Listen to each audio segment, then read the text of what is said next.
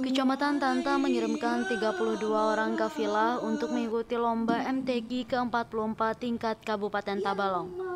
Ke-32 orang kafilah tersebut diikutkan ke 8 kategori lomba.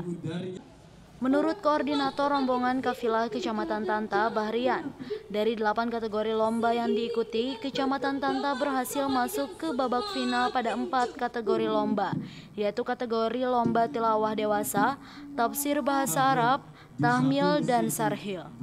Kami mengirim delapan cabang dan alhamdulillah masuk empat orang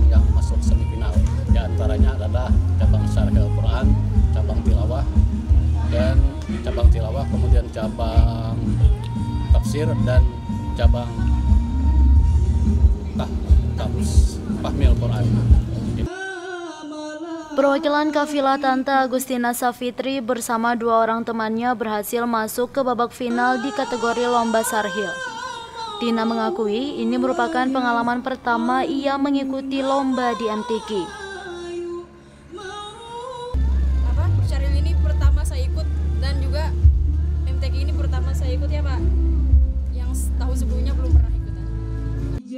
Tina mengungkapkan ia dan kedua temannya telah maksimal mempersiapkan lomba, yaitu dengan latihan setiap hari selama satu minggu penuh sebelum lomba digelar. Ia berharap dapat mengangkat nama Kecamatan Tanta dengan memenangkan lomba. Muhammad Rais, TV Tabalong melaporkan.